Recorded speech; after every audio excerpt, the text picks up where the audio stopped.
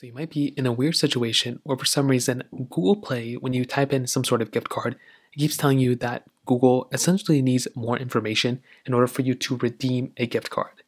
Now, when this actually ends up happening, there's a very important thing you're going to want to do. And the big thing here is to actually submit the details that Google is, you know, actually wanting.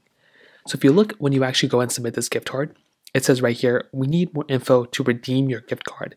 Send us details right there, there's a little hyperlink under the send us details little button. All you're going to want to do is tap on send us details, and that's pretty much all you're going to have to do.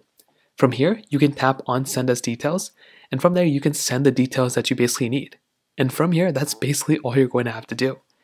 Now that's the big thing. If you look on, you know, Google, if you look on Google Images, there's all sorts of other information on what it looks like. You can see that there's error codes. You can click Learn More. There's all sorts of other things that can come up, but clicking on Send as Details will show them exactly what you need. Now, for some reason you do that and that's not working, the other thing you may want to do is just double check your internet connection as always.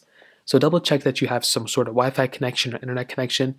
You may also want to make sure you're typing in your specific redeem code right because if you're not typing in the code properly, that can also cause some issues. So make sure you're typing in the actual, you know, gift card code properly first of all. Now you also want to make sure if your phone is not up to date, you may just want to go ahead and update your device.